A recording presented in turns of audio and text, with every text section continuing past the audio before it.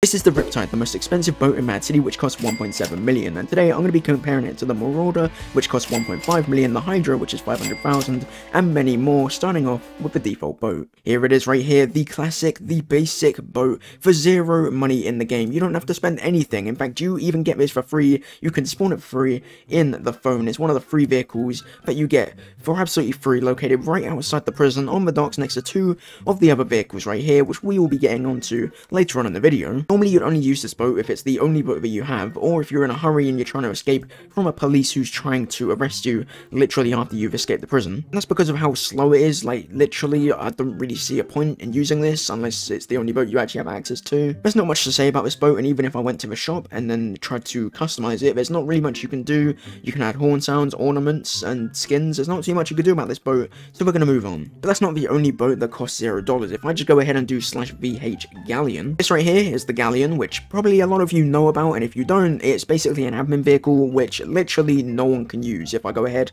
go up here, it literally says vehicle not buyable, no one can use it, which is a shame, because this honestly looks amazing. I would love to be able to use this in the game, but I can't, so we're just gonna move on. But luckily, we don't have to go too far, all we have to do is go back to the docks that we were at originally for the next boat, which is right here, the jet ski, for 50,000 cash. This is actually one of the more popular boats in the game, I see a lot of people actually using this, probably because it's the cheapest, and to be honest, it doesn't actually go that slow, it's pretty quick. Yes, this thing is like double the speed of the classic boat, but what you do have to take into consideration here is the health is actually halved here. Although I do still think that this is actually good, because who's actually going to get into boat wars, really? Like, no one uses boats. As for customization, it's pretty much the same, the skins, the ornaments, and the horn sounds. There's nothing changed there. The only thing that's really changed between this is obviously the looks, which it looks a lot better. It's obviously got half the amount of health, and it's also way quicker. For the next boat, we literally have to go to the other side of the map, to the other dock, which is right here, and that's where we'll find the next boat, the Bulldog, for $250,000. This one I'm pretty sure was added in alongside of Chapter 2, and I'm not even gonna lie, didn't even know it existed. I rarely see people using this one, although to be honest, I rarely look at the vehicles that people use, especially when it comes to boats. This is by far the boat with the most amount of seats. You've got the driver's seat, you've got two passenger seats in the back,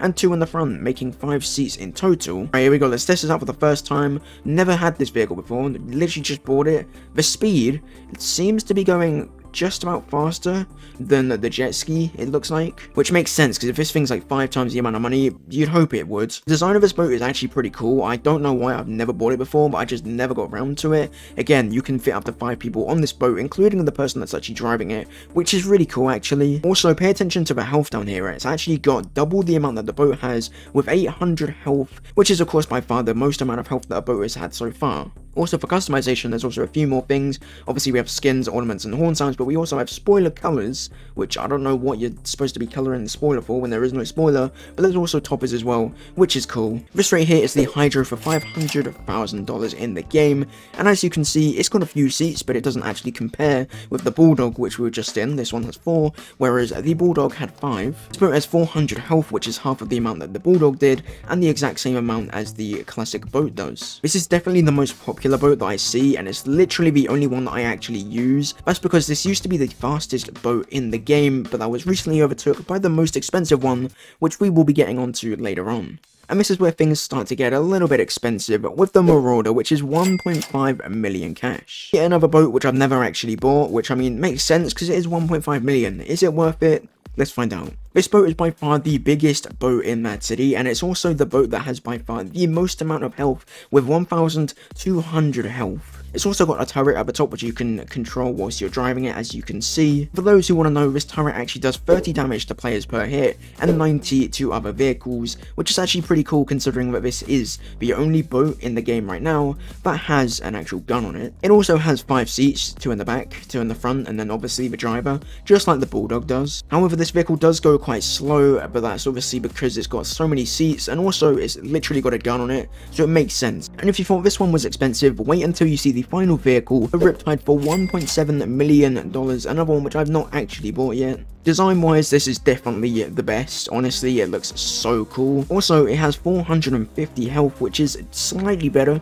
than the default boat and the Hydra. Seating wise, this is actually worse than the classic boat. As you can see, this has only got two compared to literally the free boat, which has three seats. But the one thing that sells this vehicle is the speed of this. I mean, look at how quick this goes. If you want to be the first one to beat the boat heist, this is definitely the boat to get, the Riptide right here. One thing to note is that this vehicle actually used to cost 1.75 million, but it's actually reduced by to 1.7 because it was actually supposed to have a boost on this, making it obviously even quicker, but it doesn't, so for now, it's just 1.7 million. I'm not sure if the boost will ever actually make its way to this vehicle, um, or if they're just going to scrap it entirely, because I mean, even without it, it still goes insanely quick. In this video, we have gone from a default boat all the way up to the most expensive boat in the game. Let me know which your favorite one is in the comment section as we literally pass the boat. That's it for this video. Hopefully you enjoyed. Subscribe.